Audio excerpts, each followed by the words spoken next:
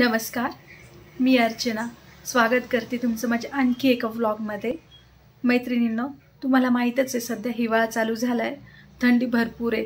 जसं की आपण उन्हाळ्यामध्ये तेलकट त्वचेमुळे हैराण असतो तसंच थंडीमध्येही आपण कोरड्या त्वचेमुळे खूप हैराण होतो.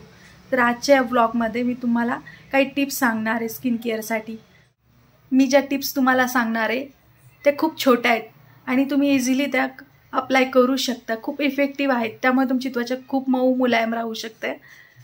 पण त्यातपूर्वी तुम्ही जर आपल्या Umang lifestyle and beauty tips या चॅनलला सबस्क्राईब केलं नसेल तर जरूर सबस्क्राईब करा. हिवाळ्यामध्ये आपली त्वचा कोरडी पडण्याचं मुख्य कारण म्हणजे हिवाळ्यामध्ये आपल्याला घाम येत नाही.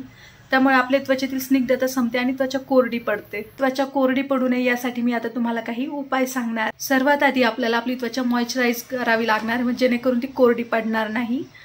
तर त्यासाठी आपल्याला बाहेरून बाजारातून खूप महागडे किंवा ब्रँडेड मॉइश्चरायझर आणण्याची काहीच गरज नाही.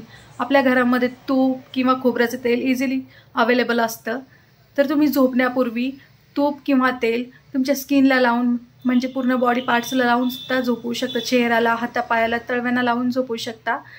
आणि सगळे आंघोळीच्या वेळेस ते तेल तर धुवून निघतंच त्यामुळे काही प्रॉब्लेमच नसतो. आणि त्यामुळे त्वचा आपली छान मॉइश्चराईज होते आणि मऊ मुलायम होते.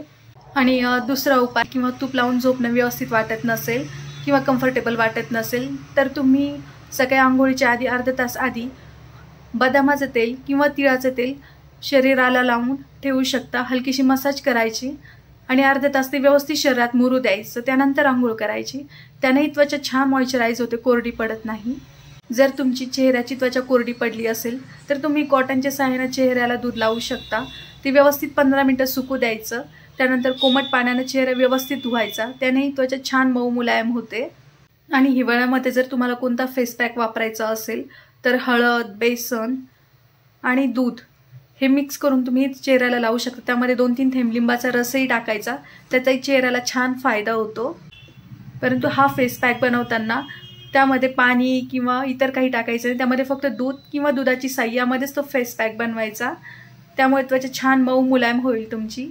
तर मैत्रिणींनो हिवाळ्यासाठी जर तुम्हाला अशा छान छोट्या छोट्या घरात अवेलेबल असलेल्या साहित्यांपासून जर काही टिप्स हव्या असतील तर आपल्या चॅनलला जरूर सबस्क्राईब करा आणि आपले व्हिडिओ पाहत राहा.